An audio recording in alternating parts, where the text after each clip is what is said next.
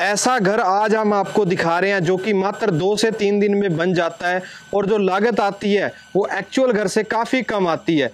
ना तो इसमें गर्मी लगती है, ना ही सर्दी लगती है। और इसके अलावा, ना ही इसमें किसी तरीके का कोई भी प्रॉब्लम आती है और बहुत ही यूनिक तरीके से इस चीज़ को बनाया गया है। काफ़ी डिटेल हम आपको देंगे। ये देख सकते हैं, बहुत ही ज़बरदस्त। आपको पूरा घर घुमाएँगे और इस घर में क्या क्या फीचर्स हैं, कितनी लागत आई है, पूरी डिटेल में आपको बताएँगे। आज हम पहुँचे हैं हरवीर जी के फार्म में। आप देख सकते हैं खेतों के बीचों बीच ये इन्होंने बना रखा है। तो वीर जी सत श्रीकाल जी। सत श्रीकाल जी। तो सर इस घर के बारे में कैसे आइडिया आया और क्यों आपने ये बनाया? सर जी ऐसा था ये आइडिया की जहाँ तक बात है ये हमने इस मकसद के लिए ये पफ पैनल का बना हुआ है। जी। इस मकसद के लिए ये नहीं मंगवाया था ये। जी। ये ये शीट्स होती हैं। जी। जिनका एक स्टैंडर्ड साइज़ होता है तीन फुट चौड़ी होती है। ये एक मीटर बाय लंबाई जितनी मर्ज़ी ले सकते हो। जी ये जर्मिनेशन चैम्बर के लिए मंगवाया गया था। जी जी। ताकि इसमें हीट करके तो इसमें हर चीज़ हमारी जर्मिनेट हो जाएगी। जर्मिनेट होने के बाद हम बाहर निकाल लेंगे उसको। जी जी। पर ऐसा था हमने एक देसी फार्मूले से अपना जर्मिनेशन चैम्बर बनाया था वो कामयाब हो गया। जी। ये हमारे पास एक्स्ट्रा बच गया था। जी जी। तो हमने सोचा भी इसका एक घर बना के देखते हैं। जी। तो वैसे मटेरियल पड़ा हुआ है हमारे पास। जी जी। तो हमने इसका एक घर बनाया जी। जी जी। मुझे सवा साल हो गया इसमें। जी जी। तो इसमें हमने सारी गर, सर्दियाँ भी गुजारी हैं और गर्मियाँ भी गुजारी हैं। जी जी। तो ये ना ठंडा होता है ना गर्म होता है जो भी अंदर का टेम्परेचर है वही टेम्परेचर रहता है इसका। बिल्कुल। ऐसा कैसे है सर जी? ना तो इसमें गर्मी लगती है ना ही सर्दी लगती है मतलब जो टेम्परेचर अंदर है वही टेम्परेचर इसमें रहता है। एक्चुअली इसमें एक इंसुलेशन है। जी ये एक दो शीट्स लगी हुई हैं स्टील की। पास से दिखाएँ सर वो आप हम कैसे देख सकते हैं? आइए अंदर आइए सर मैं आपको दिखाता हूँ। जैसे ये कमरे बने हुए हैं। जी जी। ये अब ऐसा था जी मैंने जो मेरे सर्वेंट्स हैं उनके लिए मैंने एक क्वार्टर बनाना था। जी तो जी। मैंने उनको एक छोटा सा बना के दिया है दो कमरे हैं एक रसोई है आगे बरांडा लगा हुआ है। जी जी। तो इसमें जो पफ पैनल्स की शीट है जी ये जी। इसकी मोटाई जो है ये पचास एम है। जी जी। तो ये इसमें इसके अंदर एक इंसुलेशन भरी गई है। बाहर में इसकी 0.5 पॉइंट फाइव एम की एक शीट लगी हुई है। जी जी। 0.5 पॉइंट की। जी जिसके अंदर एक इंसुलेशन है वो इतनी की इंसुलेशन है। वो ना ठंडा होती है ना गर्म होती है। वो बनाई ही इसीलिए गई है। मान लो फॉर एग्जांपल इसमें हम एसी लगाते हैं। जी जी। एसी लगाने के बाद इसको हमने एयर टाइट कर दिया। जैसे मान लो टेम्परेचर हमने पच्चीस या तीस डिग्री कर लिया। एक बार 25 डिग्री कर लिया। कर दिया और इसको एयर टाइट कर दिया मतलब दरवाजे बारियाँ बंद कर ली। जी। तो ये ठंडा होते गर्म होते होते कम से कम छह सात घंटे ले जाएगा। मतलब एक बार हमने जो टेम्परेचर कर दिया वो छह सात घंटे में सही होगा। सही हो जाएगा। मतलब कि एक बार एसी चला के एक घंटा हाँ। उसके बाद आप आठ घंटे तक इसमें इसमें सेम टेम्परेचर में रह सकते रह हो। सकते हो। ऐसा ही जैसे मान लो हीटर लगा के गर्मी कर ली तो ठंडे होते हुए भी इतना टाइम ले जाएगा। जी। तो ये इस पर्पज तो इसका यही था भी हीटर लगाएँगे अंदर सर्दियों में जो नर्सी जर्मिनेट करवाएँगे हम।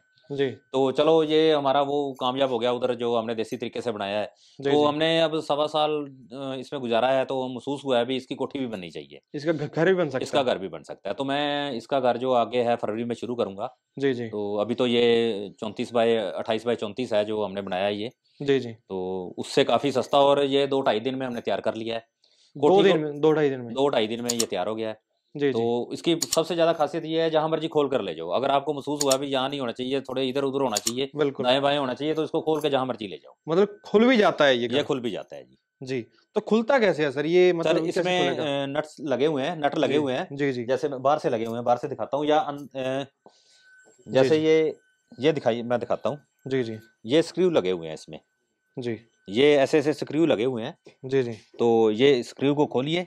जी अंदर ये जो इसमें एक अंदर जो पाइप लगा हुआ है ये इसको वो कनेक्ट कर रहे हैं आपस में। जी। तो ये स्क्रू खोलिए और जहाँ मर्ज़ी इसको ले जाइए। जी जी।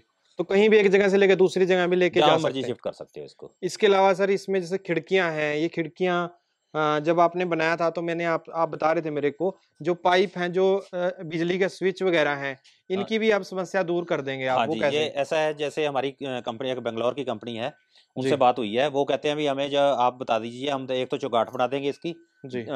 बारी की भी विंडो की भी चौगाट बना देंगे और दरवाजे की भी चौगाट बना देंगे और ये पाइप हम पहले ही ऑलरेडी बीच में दे देंगे। जी।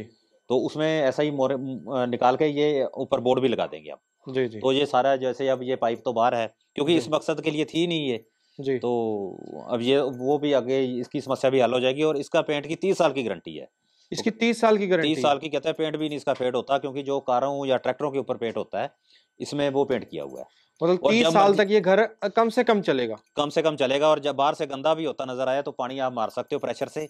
तो जैसे कार अपनी वॉश करते हो तो वैसे वॉश करके ये फिर नए का नया बन जाएगा। मतलब कि इसमें हम का इस घर को धो भी सकते हैं जो हम आम घरों को नहीं धो नहीं नहीं धो सकते इसको धो भी सकते हैं। सर इस पे जैसे पेंट वगैरह करना हो तो पेंट वगैरह की कोई दिक्कत नहीं है कोई दिक्कत नहीं है कोई ज़रूरत ही नहीं है। और पेंट भी ऐसा है अगर जैसे ये एक ये जो पैनल है ये एक मीटर चौड़ाई में है लंबाई जितनी मर्ज़ी ले सकते हो इसकी तो अगर बाहर से आपने वाइट लेना है अंदर से कोई और लेना है तो ऐसे भी कंपनी दे देती है। ओके। तो अगर जैसे ये बाहर लाइनिंग है अगर प्लेन लेना है प्लेन भी दे देती है वो। एक तरफ़ से लाइनिंग लेनी है एक तरफ़ से अंदर से प्लेन लेना है तो वो वो भी कर सकते हैं।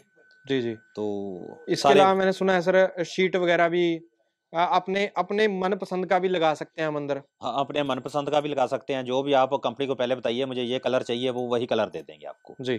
आपको सर कितना खर्चा आया था आपके इस पूरे प्रोजेक्ट पे? ये पूरे प्रोजेक्ट के ऊपर मेरा पौने तीन लाख खर्चा आया था।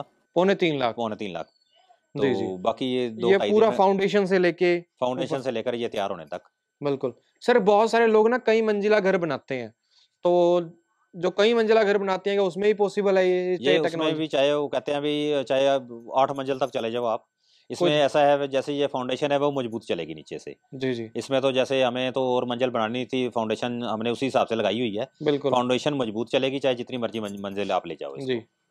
आर्मी में आप बता रहे थे काफ़ी यूज़ हो रहा है क्योंकि इसमें टेम्परेचर मेंटेन होता है इसलिए। हिमाचल में होता है जैसे बर्फ़ के एक तो लेकर जाना जैसे कंक्रीट की ईट ऊट लेकर जानी बड़ा एक दिक्कत है। तो ये शीट्स होती हैं जहाँ मर्ज़ी ले जाते हैं। आपने मान लो एक कैंप लगाया हुआ है वहाँ स्टेब्लिश कर लिया। जब आपने कैंप छोड़ा दो तीन महीने या छह महीने बाद तो जहाँ मर्ज़ी खोला और अपने गाड़ी में गिरा और जहाँ मर्ज़ी ले गए इसको। पहाड़ी राज्यों के लिए और भी और दूसरी बात यह है कि जो जहाँ बर्फ़ ज़्यादा पड़ती है ठंडी ज़्यादा होती है तो वहाँ भी ये टेम्परेचर को काफ़ी सहायता करता है जी इसको मेंटेन रखने के लिए। आ, तो दोस्तों अगर अब लोहे का प्राइस ना बड़ा होता तो ये और भी सस्ता हो जाता। तो सर जी इसके ऊपर लोहे का इम्पैक्ट बहुत पड़ा है ना?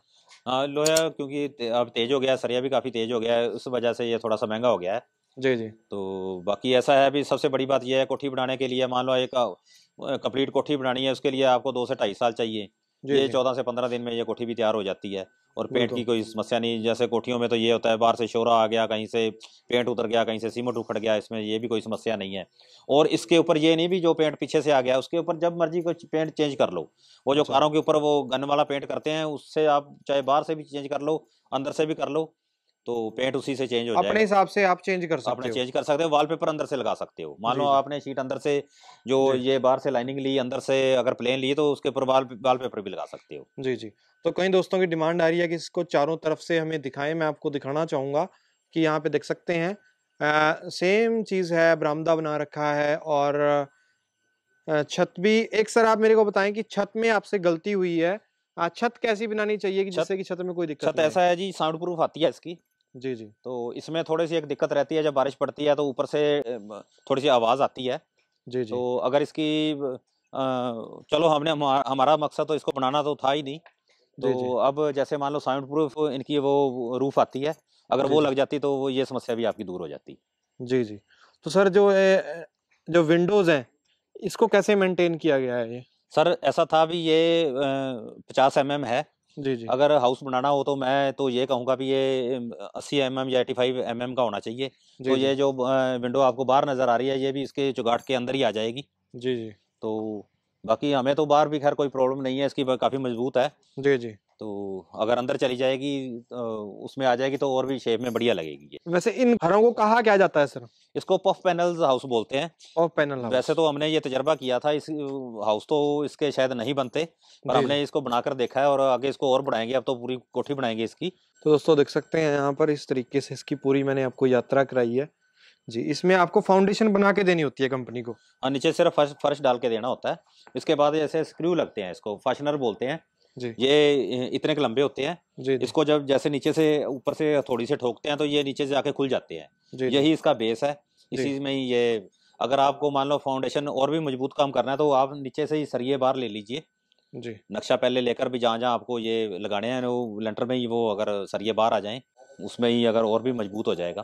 तो दोस्तों ये आपने देखा शानदार घर जो कि पफ हाउस जिसे कहा जाता है पफ हाउस स्टाइल में ये घर बनाया गया था और इसकी कंप्लीट जानकारी हमें सर ने दी। तो सर आपका बहुत बहुत धन्यवाद। धन्यवाद। तो दोस्तों उम्मीद है आपको एक अच्छी वीडियो देखने को मिलेगी। तो इस वीडियो को लाइक और शेयर ज़रूर करें ताकि किसी आम दोस्त का हमारे का पैसा बच सके और उसे एक नई टेक्नोलॉजी के बारे में पता चल सके। तो इस वीडियो को लाइक और शेयर ज़रूर करें और जो लोग अब तक हमारे फेसबुक पेज से नहीं जुड़े हैं फेसबुक पेज को फॉलो ज़रूर करें और जो लोग यूट्यूब पे हमें देख रहे हैं वो सब्सक्राइब करना ना भूलें। जल्दी मिलता है नई वीडियो में। धन्यवाद। जय हिंद।